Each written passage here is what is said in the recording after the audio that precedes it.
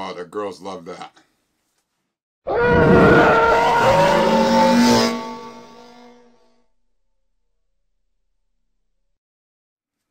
Hello, Max here, back in the shed. In the previous episode, you saw me bring the proton pack to my friend, the welder, to have it welded up. I went there today to pick it up, but I missed him because I ended up working late. So I'm going to have to run by there first thing tomorrow morning and uh, pick that up. But I came home today to a special delivery. Through the power of the internet, I made a friend. And this friend wanted to donate some pieces to me. So today I came home to the package with the pieces. I already know what's in here, but you guys at home don't. So I wanted to unbox it to show you all what's inside. It's uh, pretty wicked. All right, here we go.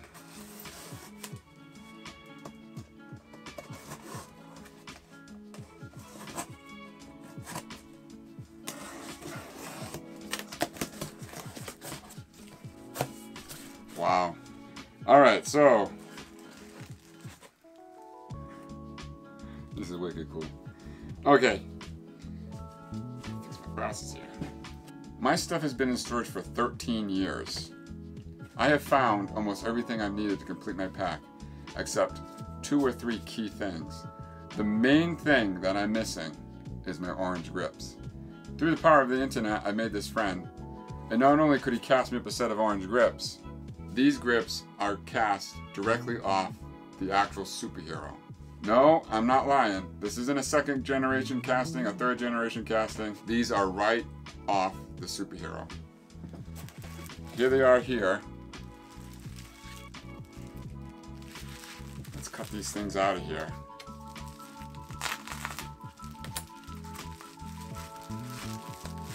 To have this is I don't even know where to begin. Wow. These look great. Wow.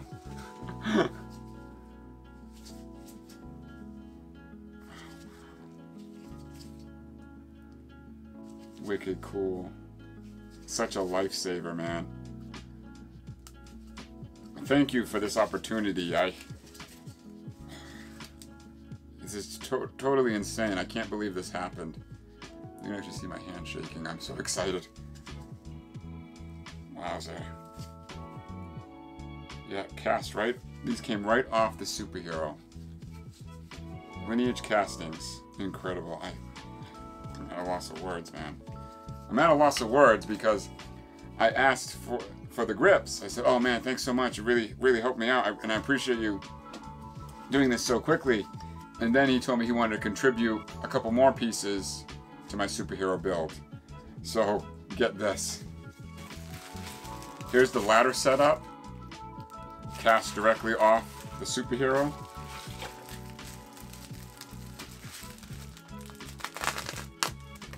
He did a phenomenal job wrapping everything. Oh my god. Wow.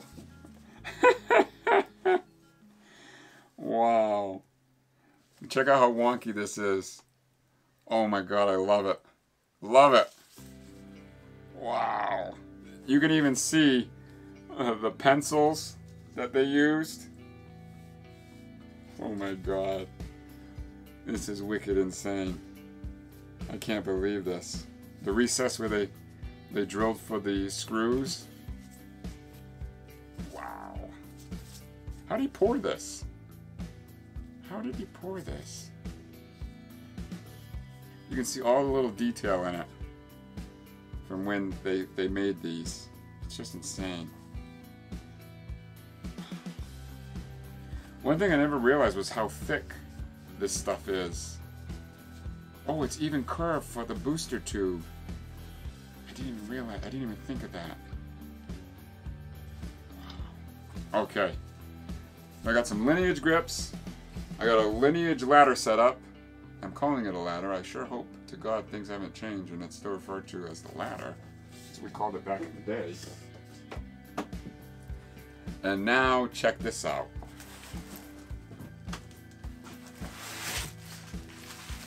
The actual bumper. The actual bumper. I have a GB Fans one, but the one on GB, but my GB Fans one is actually rather wide for the shell that I'm using. Probably a quarter inch wide. So I'm curious.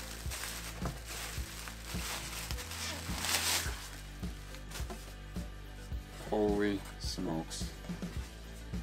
Wow. this is awesome. Oh my god. Totally insane. I can't believe this happened. I can't believe it. This is, oh. Again, so I wish my shell was here so bad. I wish the shell was here. I want to put this on the, the shell so bad tonight. Dang it. So, here she is here. Check this out. You can see all the imperfections. Incredible. Look how they how they cut it so messed up over here. I never noticed on screen how much none of this lines up. I have to respect the original guys who built these too, because it's this is such an awkward piece to make. Today it's simple with 3D printing and everything. Totally insane. So there we have it. We got some lineage parts to go on my superhero tribute. I cannot thank this person enough. They have no idea what this means to me, and whipping it out so fast for me. Thank you so much. Unfortunately, my damn show isn't here, so I can't put this on tonight. But first thing tomorrow night, when I get home from work, the sucker's going on. I'm so excited for that. I do have the grips, and I plan on working on the gun tonight. So let's see how far I can get on the gun, and maybe install the grips. So let's safely put this stuff away and break out the thrower. So here is my thrower. This is an all aluminum build. I've had this for 13 years. This was this is a uh, freaky geeky thrower. They actually were the ones that supplied the aluminum throwers for Afterlife. This is one of his earliest runs, again, 13 years ago. So there's a few things that I need to modify. Like tonight I'm going to drill a hole for the wires for the flash bulb. Um, I'm going to open this up, take some measurements inside, start 3D printing some shelves and some wall brackets to start mounting the electronics to. With the resin throwers, it's easy because you don't have to worry about grounding anything out. But being all aluminum, when I put the electronics in here, I'm afraid of grounding stuff out. So I'm going to get some measurements, maybe make some paper templates um, to start 3D printing some um, brackets and shelves and some wall mounts. Um, and I'm going to start placing my grips. Um, if I if I get enough time, I'm going to go to the hardware store and get a screw to mount the uh, the grip to. And the back grips, I'm being told by my friend that it's actually riveted. I got some rivets up there. If they don't work, then I'm going to have to hunt down the correct rivets. But I also have some parts from GB fans coming, um, like the hat lights, and um, what else? Some stuff like that. I got to replace the screws down here with the accurate screws. I also need to make a, it's actually pretty ugly. It's just aluminum block that they roughly cut and put underneath there. Freaky Geeky has this beautifully machined um, disc in there for it. Um, but yeah, so this actually has the pop neck and the swivel neck. Um, I had to modify the pop neck. Uh, this was Freaky Geeky's personal thrower for one of his builds, and um, I actually didn't wait very long for it either. Uh, I reached. I remember. I distinctly remember reaching out to him and saying I want to be put on the list, and he's like, "Dude, I got one right here. Uh, it's my own personal one. I need to sell it to, fu- to fund another project. Buy it now. I bought it right then and there. So that was like a once in a lifetime opportunity. But uh, so I'm going to take this apart. There's a lot of pieces. Um, I think tonight's video is just going to be a mock-up for this for this stuff. Um, so I also want to build a shelf to put a potentiometer here. A lot of guys will just put the potentiometer on the crank knob on the pack but when you do that, there's a wire that goes from the electronics up to the crank knob. When you take the shell off, it's still connected. I don't want any of that. I want to remove the bolts to the shell and the shell come completely off and everything stays, whoop, everything stays on the motherboard. So that's what that's the way I'm going to go. So my first step tonight is to go over a bunch of reference and uh, we're going to drill for this.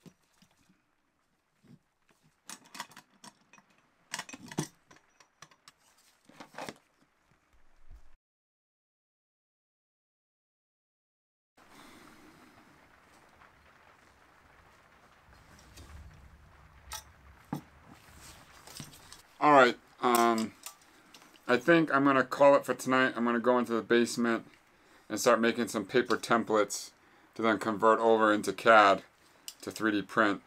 I also have to dig out the flashlight domes that I, uh, I got from the dollar store to, to fit in there. So uh, I'm going to take this into the basement and start making some paper templates. So, oh, you know what? No. We're going to make this tonight. So this, I put the knob, these knobs in the right orientation of the superhero, and when I realized this one here, when going over the reference, I realized this one here is actually up, and this uh, recess is deeper. So I'm gonna I'm gonna do that right now before uh, before we lose power, because there's a thunderstorm rolling in. But uh, I'm going to do that right now, right before we go uh, into the basement. Yep. Oh, thank you. My mother just made me dinner. I literally live in this shed.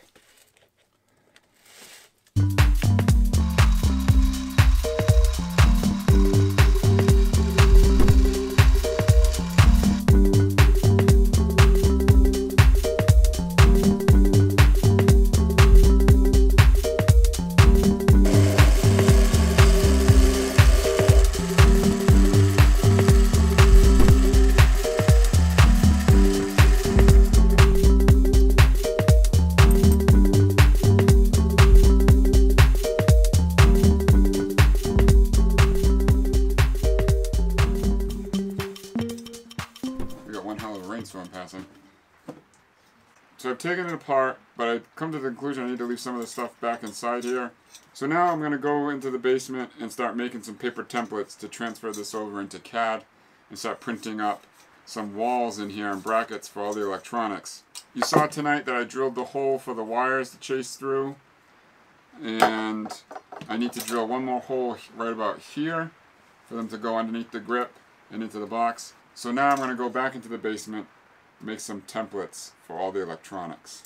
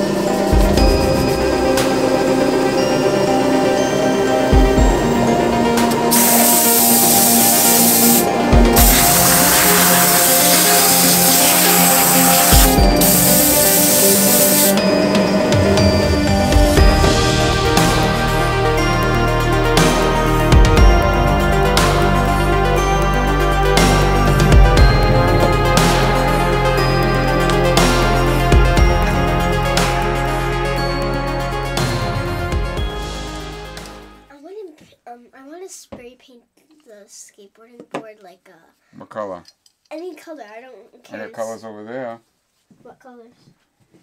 I just threw away a lot of colors. Wow. Do you have anything like with blue? I just threw away a blue. I just threw away a blue. I got some reds. I could use some red. Yeah, this is a fancy dancy red though. I could use red and kind of make a lightning bolt with that. Yeah, that's orange. Yeah, this is brand new. If you want to use these to paint it. Yeah. We'll paint it later. Yeah, when you have a time to. We'll tape up. We'll take take the trucks off of it and the wheels, and then we'll paint it over there. Okay. All right. See ya. Well, bye. Love you. Love you.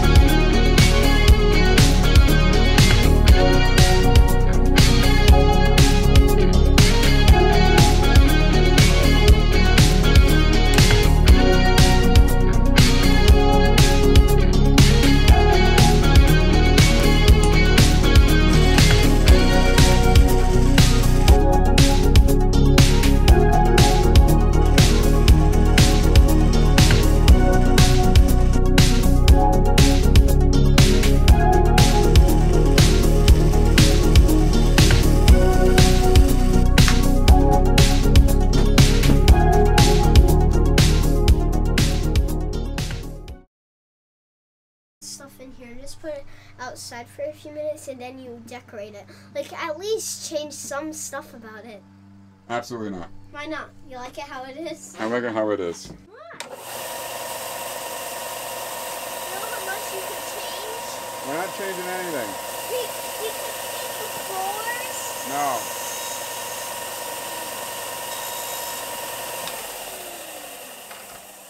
You could you could polish the the the the, the walls. No. It still works. But just the I'm half a doll, I'm almost thirteen. No. Yeah, you're w- far away from 13, let me tell you. Um still working on um your your, your Uncle Dan's got, got only a few more days till Halloween. Really? Yep. Ooh, that's bad. I don't know if I'm gonna make it. Uncle Danny, Uh, how long did it take you to make all the big stuff? It took you big what big stuff. um the the lightsabers and Takes me a long time to make a lightsaber. About two months. two months? Yeah, Well that's a lot. it is. So I think you could finish it by time. What, the proton pack? Yeah. I don't know about that. Oh, this is the outline for it, right here. Yep, that's the back. Wow. I don't think Mom and doesn't like being in the parade. Huh? Mom and P doesn't like being in the parade? That's too bad for Pete. Really? Yeah. Should put a Nini in it. Nini can't walk anymore. You got a bum hip She can walk. and a knee. She can walk to uh Yaya's. She can walk to get a coffee, that's for sure. I want to. I want to return Ginny and get a black cat. I want I want to return both cats. What? What? Yeah, both of them. Both of them gotta go Why? because we don't need we don't need the cats. You you want you want a black cat? I don't want any cats. Why not? Because Then what do you want? We have to nothing. I don't want anything. Our fish. Yeah, Our Take the sandpaper, sand this whole bottom outside. Don't breathe the dust in. With dust? Do it outside. Oh. How do you sandpaper? Come here, I'll show you. Ready? Come here. Come here. Coming. Okay? I want to teach you how to use the sandpaper. Okay.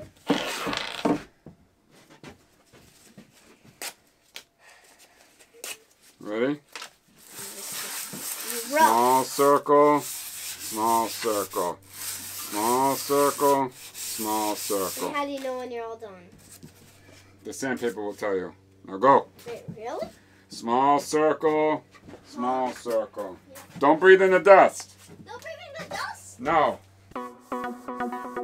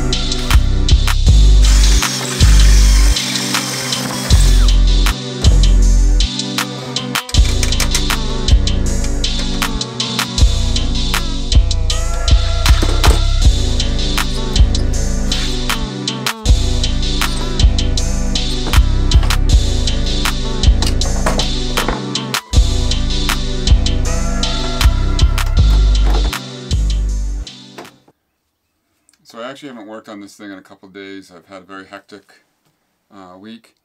So today I decided to bang out a lot of stuff and um, take a big chunk out of the gun and mount the frame to the motherboard. The proton pack is still with the welder. Like I said, I've had a very hectic week. I have not had the time to go there. Um, I, I went there early this morning and he wasn't there. I, I knew he wasn't going to be there, but I tried anyway. Hopefully Monday I'll swing in and, and pick up the pack and then start finalizing everything. We're, we're really getting to the end here. If you're new to the channel and don't mind subscribing, it really goes a long way. Well, thank you all for watching. Keep an eye out for the next video. This is Halliwax. Out.